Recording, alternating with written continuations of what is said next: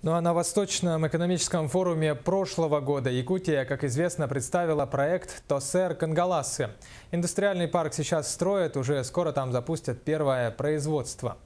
По своей сути, проект представляет собой промышленную площадку для размещения широкого ряда производств с готовой инфраструктурой и предельно благоприятными условиями и льготами.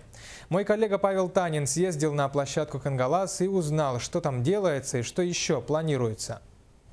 Затем забором на территории в 10 гектаров почти круглые сутки ведется работа. Предприниматели выстраивают свои помещения, рядом ведутся работы по выравниванию ландшафта для будущей парковки и дороги. Через месяц дадут в эксплуатацию первую очередь территории опережающего развития Кангаласы.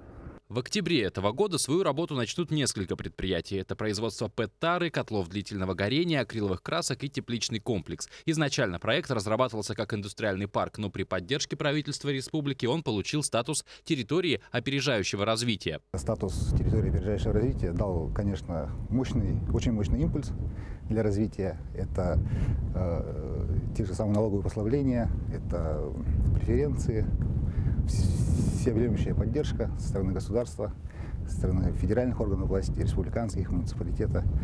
Это, конечно, придает э, уверенность нашим инвесторам и весь процесс строительства ускорило, конечно. Статус позволил и ускорить приток инвестиций и за год завершить строительство первой очереди. Напомню, что еще летом прошлого года буквально на пустыре забили только первую сваю, а уже через месяц часть резидентов начнет работать. Через 10 лет ТОР, работающий в полную силу, начнет значительно пополнять казну республики. Но самое главное, создадут рабочие места для населения. Те производства, которые на сегодняшний день в этом году открываются, они уже обеспечат 270 рабочих мест следующем году мы увеличим до 350. А, конечно, приоритетно у нас э, работа с местным населением. Один из проектов – круглогодичный тепличный комплекс. Его также запустят в октябре. Правда, располагается он не на территории Тора. К слову, о проекте говорят давно и много, и не зря. Компания «Саюри», дочернее предприятие якутского горцнаба, поставила перед собой амбициозную задачу. А мы должны доказать, что в условиях э, критических температур, вечной мерзлоты можно также выращивать успешно э, овощную продукцию. Но главное – обеспечить население Якутска качественным натуральным продуктом продуктам и заместить привозные овощи на местном рынке. Да и цены обещают ниже импортных. На начальном этапе компания представит потребителю томаты. Три сорта томатов.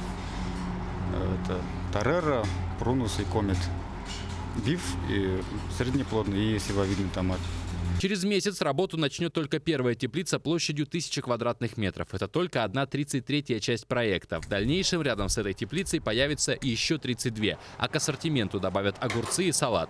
Реализовать проект помогают специалисты японской компании «Хокко». Это первый объект, который мы строим в таких климатических условиях. Нам необходимо учитывать, как сохранять тепло и как строить в таком холодном месте. И с этими задачами проектировщики справились. В теплице используют пленку из вторкаучукового полимера, который устанавливают в несколько слоев. Она обладает хорошим показателем светопропускаемости и прочностью. Кроме того, производственный процесс теплицы будет автоматизирован на 90%. Первый урожай на прилавке города поступит аккурат к новогодним праздникам. А всего на территории Тора будут работать 10 резидентов. Их состав не изменился с прошлого года. И через 10 лет планируется, что производство пополнит бюджеты республики Якутска суммарно на 2 миллиарда рублей. Павел Танин, Юрий Филиппов, Якутия. День за днем.